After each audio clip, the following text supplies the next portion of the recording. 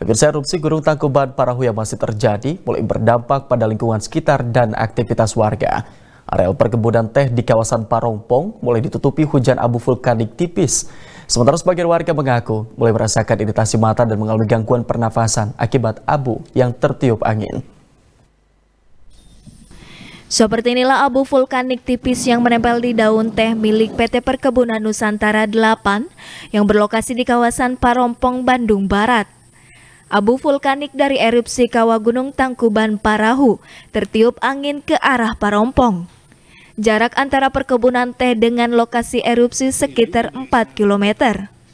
Bahkan di beberapa areal perkebunan, abu vulkanik tebal menempel di daun teh sehingga belum bisa dipetik oleh petani.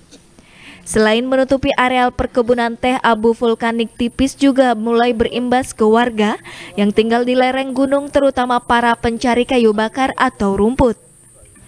Sebagian warga mengaku sejak erupsi terjadi, warga mulai merasakan iritasi mata dan juga gangguan pernafasan akibat hembusan abu vulkanik tipis.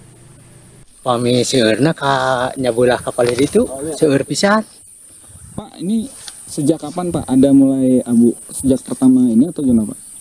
Juga kurang tahu hmm. soalnya saya baru di sininya. Oh. Di Tapi memang kerja. sudah ada kelihatan abu ininya Pak dari ya, ratusan gunung itu Pak. Ya udah kan hmm. pertama itu juga.